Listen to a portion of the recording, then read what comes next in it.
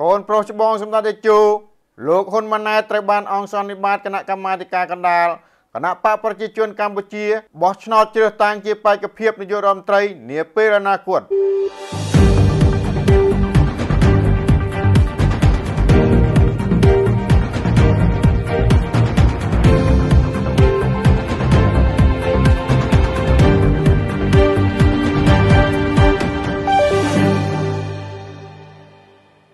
ការគ្រងទុកគណៈកម្មាធិការកណ្ដាលគណៈបកប្រជាជនកម្ពុជា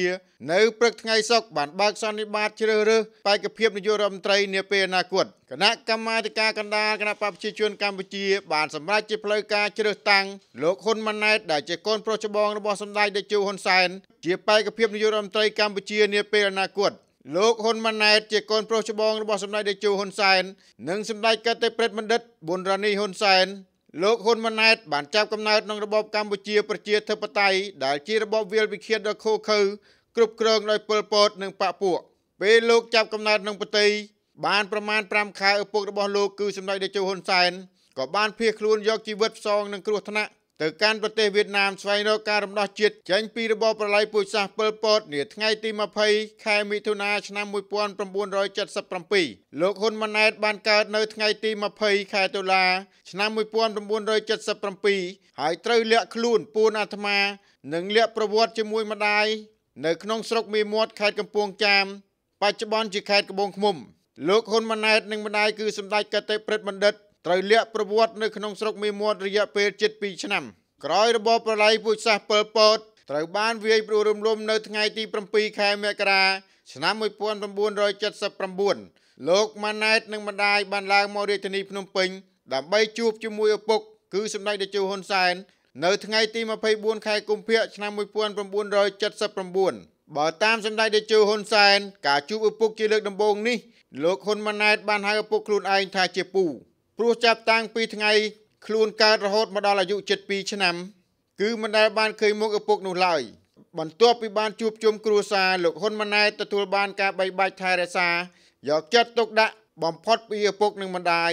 លោកក៏ត្រូវបានឪពុកយកចិត្តទុកដាក់ខ្ពស់បំផុតលើការសិក្សាអប់រំ រហូតក្លាយជាសិស្សឆ្នើមមួយរូបលោកហ៊ុនម៉ាណែតបានក្លាយជាសិស្សពូកែគណិតវិទ្យាទូទាំងប្រទេសចំណាត់ថ្នាក់លេខ1 ក្នុងឆ្នាំសិក្សា1992 1993មកពីវិទ្យាល័យភ្នំដូនពេញក្រោយបញ្ចប់ការសិក្សាចំណេះដឹងទូទៅក្នុងរាជធានីភ្នំពេញនាដើមទសវត្សរ៍ឆ្នាំ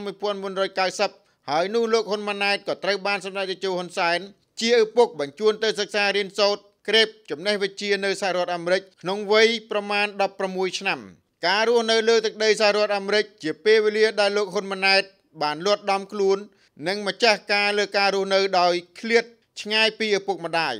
มันមានការមើលខុសត្រូវដិតដល់ដោយពេលរស់នៅក្នុងប្រទេសទៀតនោះឡើយបើទោះរស់នៅដោយមិនមានការមើលថែស្ដីប្រដៅដោយផ្ទាល់ពីឪពុកម្ដាយក៏លោកហ៊ុនម៉ាណែតជាកុលបុត្រខ្មែរដែលមានអត្តចរិតនិងស្មារតីស្រឡាញ់ការសិក្សាខ្ពស់ហើយបានស្វាធ្យាយប្រឹងប្រែងសិក្សារៀនសូត្ររហូតបញ្ចប់ការសិក្សានៅសាលាល្បីៗរបស់អាមេរិកដូចជាសាលាយោធា West Point ជាដើម។ លោកហ៊ុនម៉ាណែតដើមឡើយគេតែងគិតថាលោកជាអ្នកដែលទទួលបានការតម្រង់ទិសលើការសិក្សារៀនសូត្រពីសម្ដេចតេជោហ៊ុនសែនដើម្បីជាការតម្រែតម្រង់ឈានឆ្ពោះទៅកាន់តំណែងណាមួយលើកិច្ចការជាតិប៉ុន្តែការគិតនេះបានផ្ទុយស្រឡះហើយក៏នាំឲ្យមានការភ្ញាក់ផ្អើលផងដែរនៅពេលសម្ដេចតេជោហ៊ុនសែនបានទម្លាយលិខិតសម្ងាត់មួយច្បាប់នៅថ្ងៃទី23ខែធ្នូឆ្នាំ2021លិខិតសម្ងាត់នេះគឺជាលិខិតរបស់លោកហ៊ុនម៉ាណែតក្នុងវ័យត្រឹមតែ16ឆ្នាំ សរសេរសុំការអនុញ្ញាតពីឪពុកដើម្បីរៀនមុខវិជ្ជាដែលខ្លួនបានកិនទុកមកយូរហើយដើមឡើយគេដឹងត្រឹមថាលោកហ៊ុនម៉ាណែតបញ្ចប់ការសិក្សានៅសាលាបណ្ឌិតយោធាអាមេរិក West Point ថ្នាក់អនុបណ្ឌិតសេដ្ឋកិច្ចនៅសាកលវិទ្យាល័យ New York សហរដ្ឋអាមេរិកនិងថ្នាក់បណ្ឌិតសេដ្ឋកិច្ចនៅសាកលវិទ្យាល័យ Bristol នៃចក្រភពអង់គ្លេសប៉ុណ្ណោះតែតាមរយៈលិខិតសម្ងាត់ដែលសម្ដេចតេជោហ៊ុនសែនបានទម្លាយលោកហ៊ុនម៉ាណែតក៏បានចូលសិក្សារៀនសូត្រលើវិជ្ជាវិទ្យាសាស្ត្រនយោបាយផងដែរ ការសិក្សាលើវិជ្ជាសាស្ត្រនយោបាយនេះលោកស្នើសុំឪពុកមិនឲ្យប្រាប់នរណានោះឡើយមិនត្រឹមតែជាបញ្ញវន្តបញ្ចប់ការសិក្សានៅសាលាល្បីៗកម្រិតអន្តរជាតិប៉ុណ្ណោះទេលោកហ៊ុនម៉ាណែតក៏ជាបញ្ញវន្តដែលបានប្រឡូកជាមួយការងារជាក់ស្ដែងយូរឆ្នាំទាំងក្របខ័ណ្ឌបកក្របខ័ណ្ឌយោធានិងក្របខ័ណ្ឌមនុស្សធម៌ជាពិសេសលោកហ៊ុនម៉ាណែតជាបញ្ញវន្តទទួលបានការបណ្ដុះបណ្ដាលនិងទទួលបទពិសោធន៍ពីសាស្ត្រាចារ្យដ៏ខ្លាំង ពូកែម្នាក់ទៀតគឺសម្ដេចតេជោហ៊ុនសែនដែលជាឪពុករបស់ខ្លួននោះតាមរយៈបទពិសោធន៍ការងារនិងការដុសខាត់លុតដំដោយផ្ទាល់ពីឪពុករបស់ខ្លួនផងនោះលោកហ៊ុនម៉ាណែតត្រូវបានគេមើលឃើញថាគឺជាអ្នកបន្តវេនដ៏ស័ក្តិសមនិងខ្លាំងពូកែមួយរូបនៅកម្ពុជាដែលអាចធានារក្សាបាននៅសន្តិភាព ហើយនាំមកនៅវឌ្ឍនភាព និងកិត្តិយានុភាពជាបន្តសម្រាប់កម្ពុជា ចំណុចទាំងអស់នេះដែលនាំឲ្យការប្រកាសដាក់លោកហ៊ុនម៉ាណែតជាបេក្ខភាពនាយករដ្ឋមន្ត្រីមកពីគណៈបកប្រជាជនកម្ពុជាទទួលបានការគ្រប់គ្រងយ៉ាងខ្លាំងក្លាពីថ្នាក់ដឹកនាំសមាជិកសមាជិការបស់គណៈបកប្រជាជនកម្ពុជាមិនត្រឹមតែថ្នាក់ដឹកនាំសមាជិកសមាជិកាបកប៉ុណ្ណោះទេប្រជាពលរដ្ឋខ្មែរមន្ត្រីរាជការកងកម្លាំងប្រដាប់អាវុធសុទ្ធតែបានបង្ហាញការគ្រប់គ្រងចំពោះវត្តមានរបស់លោកហ៊ុនម៉ាណែតជានាយករដ្ឋមន្ត្រីបន្តវេនខ្ញុំបាទ ឈិតសំណាងកម្ពុជាសន្តិភាពនាំមកជូនលោកអ្នកដោយក្រុមហ៊ុន OS Rival Marketing Cambodia សម្ផស្ស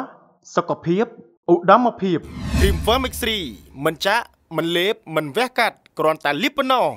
Hara Perfume Body Serum ស្បែកសស្អាតក្លិនក្រអូបនិងជឿជា